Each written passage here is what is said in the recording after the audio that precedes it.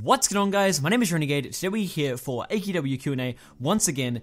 This week we're going to be answering the questions you guys left over the past week in my Discord server in the Questions for Q&A channel. If you'd like to have a chance to be featured in the next episode of the series, then by all means go to the description, go to my Discord link, join my Discord server and leave as many questions as you'd like in the Questions for Q&A channel.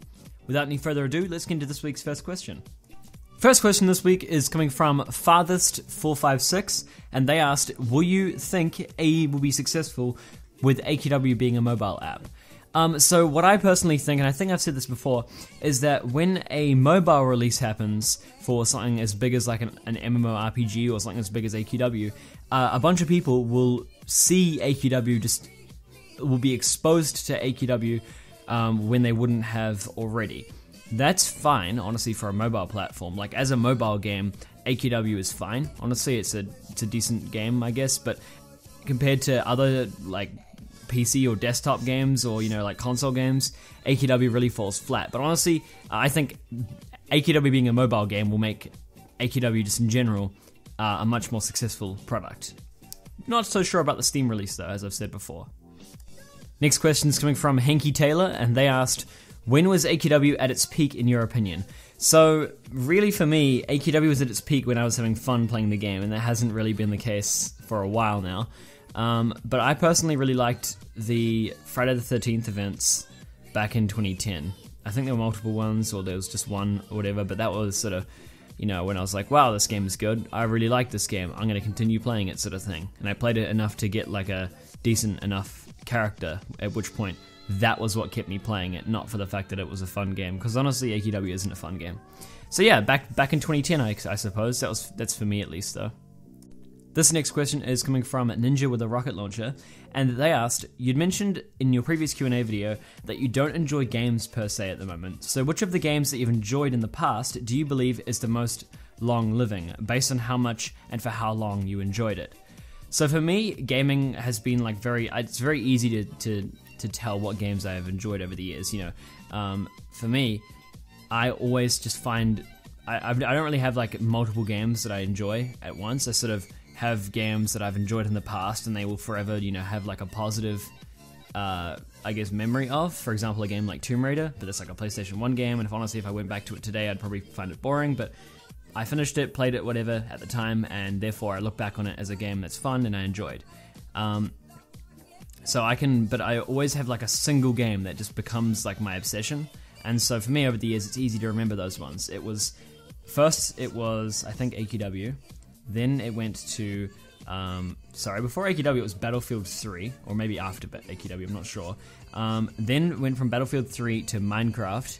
And then Minecraft was like a really big obsession for me that kind of went off and on. You know, it was between Battlefield and Minecraft for a very long time and then I played Battlefield 4. I loved that game, and then it was from Battlefield 4 to uh, Call of Duty Black Ops 2 Zombies, just the zombies mode in that game, and that was like my absolute crack addiction. Like I had like I had I've got honestly like over 2,000 hours in um, just zombies alone in that game. Multiplayer didn't even play it. Camp- campaign didn't even finish it. But the zombies mode specifically in that game kept me going for so long. But honestly, um, then I played Zombies in Black Ops 3 and a bunch of other games since then or whatever. But um, Zombies or Minecraft is probably like the most like obsessed I've ever been with, with, with gaming in general. Like that was sort of where I was like, this has just consumed me. Especially the zombies, it was like this has just consumed my life. Whereas with Minecraft, it was sort of like play survival mode that consumed me. Then I went off it, and I was like, oh, multiplayer, play like Hunger Games and stuff, and that sort of con- consumed me. Then I went off it.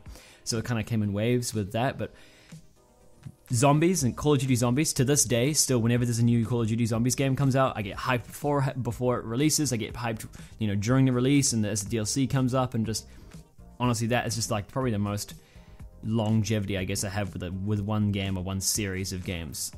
Call of Duty Zombies probably. Our next question is from the Queen of Monsters, and they asked which class in your inventory is the best for farming and soloing. And I'm going to kind of switch this up and be like, which is the best class or the most I guess the class I go to first when I need a farming or a soloing class. So for me right now, farming is always Blazebinder just because it's so reliable, so easy to use, and I just get I can just get whatever boring task that I'm trying to complete done quickly, and I don't have to think about it. Whereas with soloing, it's probably Void High Lord because again, I could use Shadow Stalker of Time and make it faster, but uh, Void High Lord for me is just super easy and just whip it out and don't have to think about using it at all and just it's done, over with, and move, move on to the next sort of mundane task that AQW presents to me. Our next question's from Jay Tato, and they asked, "What are your thoughts about the new design notes post titled uh, AQ World's feedback and the future?" So, this is a post from Alina, um, I'll leave a link to it in the description so you guys can read it. I won't read the whole thing here, but she essentially talks about um, how much the community like and the dev team interact with each other, and how there's a lot of feedback that's given, but there's not much that they can do about some of it. Um, and there are often changes, even and I'm guilty of this, that players suggest, and on the surface it's like, you know, let's make combat fun, and it's like, come on, come on, AE, make AQW fun, make combat fun. But it's very difficult for them to think, all right, we got a plan. First of all, what do we change currently to make it fun? Identify the problem, identify how to fix the problem, identify how to implement the problem, actually start implementing the problem, fix all the bugs and stuff that come from it. You know, this is it's a years and years and years of work, and it's all just to please that one person who took 10 seconds of their time to just say, yes, this is a problem that I, I, can see in this game. It's very difficult for AEs and the dev team and stuff. So they basically they're saying we appreciate the feedback, we appreciate you guys, and we love uh, the way community interaction is. But just remember, we're an indie company, and we uh, we do doing the best we can. That's essentially uh, what the post was talking about, and I honestly like I agree with it. And honestly, I'm very I guess not necessarily I regret how much I criticized the game, but I just sort of wish the community would uh, give them a break sometimes, would sort of realize that as a situation. I try and disclose that. I try and, you know, say in my videos where I am complaining about the game, I always try and say, you know, I don't expect these changes to be implemented. I don't expect any of this to be changed. And honestly, I, I, I um, I'm just sort of having a conversation, sort of bringing up the issue, sort of making other people aware of it, and honestly, just sort of making content. That's just what I do. I don't expect any of what I suggest to actually be implemented at all. Um, but yeah, I just wish the community would have the same sort of attitude I would. I do. Next question is coming from Hardstuck Plat 3, and they asked, Do you think quests should give more experience instead of just some that are used for farming? So yeah, 100% think this should this should be implemented. I, am really unsatisfied in general with the amount of XP that is rewarded from questing. Um, my personal opinion is that if you complete a quest line, like you complete like a big chunk of the storyline in the game, you should have leveled up throughout it. You should have, you know, first Chaos Lord, you should have gained a lot of XP from completing the first Chaos Lord, not just 50 XP here, 200 XP here, 300 XP here. Even though if they multiplied every quest in the game by 10 on the quests, I still think that some quests would still not give enough XP, or some quest lines in general. I honestly think that XP rewards should be really large with quest lines, and then maybe just like a little bit of farming after that so you reach level cap. Not, yeah, get like two levels from an entire quest line and then farm the next 30 or 40 levels to max to cap um, from just killing stuff in one room. Like, you know what I mean? Like, I feel like them allowing their storyline to give rewards not only with the player enjoying the story, that's rewarding, but also XP rewards. That would be a really good way of getting people to play old quest lines and stuff, which is a good way of making people actually play the content that's in the game. Our next question is coming from Nick, and they asked Does Arnex's or Aranx's Celestial faction have the potential to become a good alternative or equivalent to, say, Dage or Nulgath? Um, I think it does have the potential.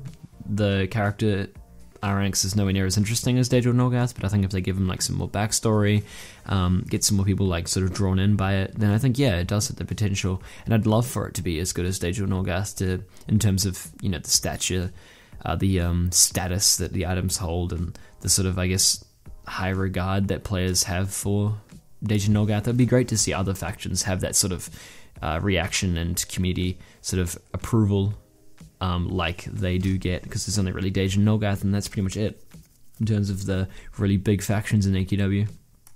Next question is coming from Janko, and they ask, "Do you think there should be a good war? Who should the, the two sides be? The evil war was great, by the way. It was Dage versus Nulgath. So yeah, like I just mentioned, Celestial faction that would have the potential to bring on some sort of, I guess, warring factions. But I think there needs to be another one, and I don't know. I don't think there. Sh- I think there definitely should be, but I think there needs to be a lot of obviously a lot more preparation and backstory behind the factions that are at war before they think about doing a war. Because otherwise, a war with no investment would be um, pretty pointless. This next question is from Hayu, Hayu, and they asked, "Do you plan on leaving AQW soon? And if so, why?" Um, honestly, for me, it's just this journey as a AQW YouTuber is is just one that I'm going to continue for as long as I feel satisfied with it. And at the moment, you know, I'm getting real good numbers in terms of like view counts and and uh, watch time and sub count and all that sort of thing. It's it's real good increase sort of thing. Um, and I'm having a good time making the videos. You guys seem to be enjoying them, and it's overall it's a positive thing for me personally and for the community. So I'll uh, continue for as long as I physically can. But at the same time, you know, personal commitments are a thing that happens, and you know, um, you know, my social life obviously comes before AQW. I'd say before my YouTube channel. Um, if my YouTube channel was, say, my job or any of of more significance than simply a hobby, then yeah, it would start to take priority. But honestly, like schoolwork, my social life, my my real life job, um, lots more things take priority over over my my hobby that is AQW YouTube channel. Obviously, I would love for my YouTube channel to be more than a hobby, and I would love for my um, AQW passion to be more than a hobby, but it, it is just that. It's a hobby. So everyone changes their hobbies, everyone gets bored of certain things, and everyone um, moves on. So until that time comes, I will continue. Because when he asks, Are you leaving AQW soon? AQW is only a part of my life because of me making making YouTube videos about it. I've said many times before, I don't play AQW. I play it to get background gameplay. I play it if I need an item for a video. I I am a part of the AQW community because of just that. I like the AQW community.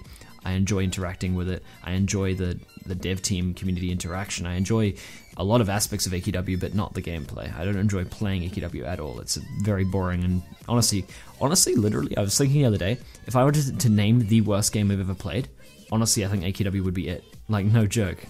Like there's, I played a lot of games. Oh, uh, actually, no, the opposite. I've played very little games in my life, and generally, this the games I do play are like AAA titles. So when I think of like the worst game I've ever played, honestly, AQW is easily up there. but you know, hopefully that, that that'll improve. Uh, the next question is coming from To The Max Gamer. They asked, what kind of changes would do you think need to be made for AQW to be popular again?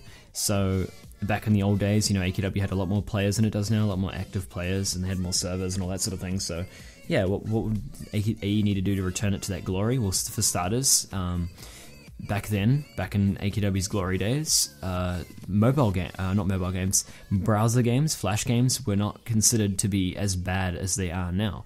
When you think of a flash game, as a normal gamer, if you think of a flash game, you're thinking of games like you know Gravity Guy. You're thinking of games like RuneScape. Maybe not even RuneScape because it's sort of evolved past that point, but games like Gravity Guy, games like you know Cookie Clicker, like just shitty games, like just casual garbage games.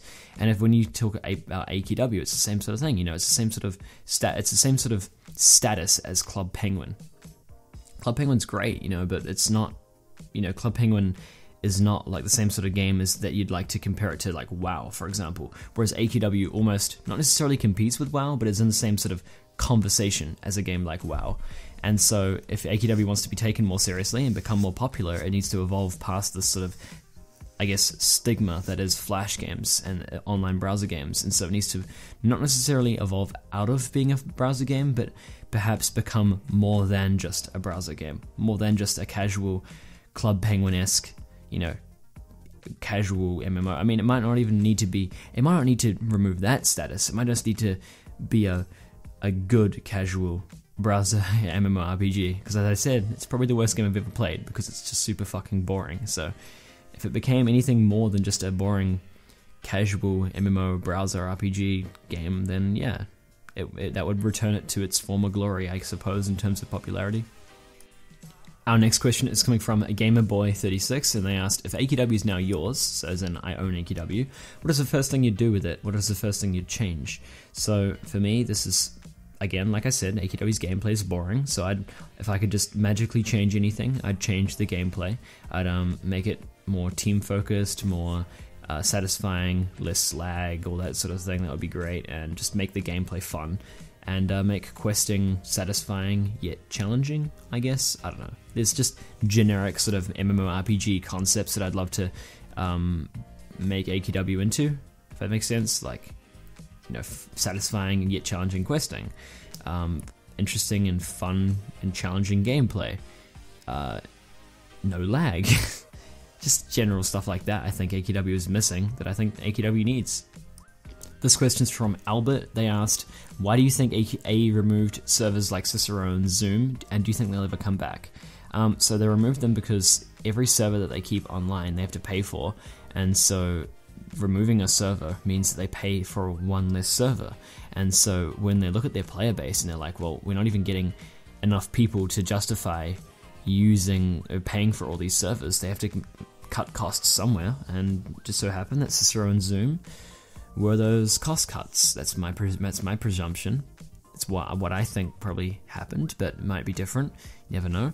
Um, and will they ever come back? Well, if that was the case, then the, the thing that would that would it would take for them to come back would be for the player base to suddenly increase to where it was before or higher.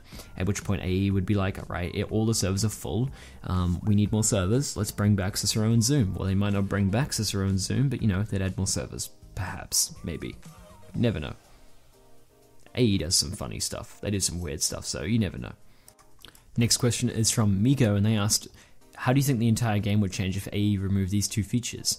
Mana, uh, mage type mana regeneration, as in like you know the mana regeneration where if you crit, you're pretty much regenerating all your mana. It's it's pretty ridiculous. And uh, mana vamps, if they removed those two two things." and if they replaced that with more supportive type classes that can provide mana or improve mana regen, such as Stonecrusher and Healer, um, I'm all for removing um, mindless mechanics and turning them into um, uh, active mechanics, I suppose. If okay, what I mean by that is them. So mana regeneration, mage type mana regeneration. That is a a mindless mechanic. You don't have to think about the fact you're regenerating mana, right? You don't have to think about your mana regeneration when you're playing. Um, so that's a mindless mechanic. But if they removed that and replaced it with a class that would have to support you with mana, then that is replacing something you don't have to think about and replacing it with something you do have to think about. You've immediately made the game more complex, more interesting, and potentially much better. Now, this obviously this would require a lot of balance changes and a lot more other stuff added in. So don't go off at me in the comments about how bad it would be or whatever for a plethora of detailed reasons. I'm just saying, as a general concept, removing mechanics that are mindless and replacing them with mechanics that are not mindless is, I think, generally a good thing if implemented correctly. It would make it would this would make AQW better. Our next question is coming from Nobody, and they asked Would you rather use classes that are not that good to make your gameplay harder and more interesting, or go with the OP classes to make things easier? For me, um, not that good classes. They are more interesting to use, but even the most fun class in the game, Card Clasher, even that's still boring. I'm still not having fun when using Card Clasher. By comparison to all the rest of the classes in the game, it's way better but still, the most fun class in the game is still boring. Therefore, what's my what's what, what's the deal then? Because for me, I'm sitting there, no matter what class I'm using, I'm bored. So, by that, with that in mind, I'm just going to use whatever class gets that boring bullshit out of the way quicker. So, to answer the question, I'm going to use classes that are OP because OP classes make boring things happen less or happen more quickly. Therefore, I'm bored for less time.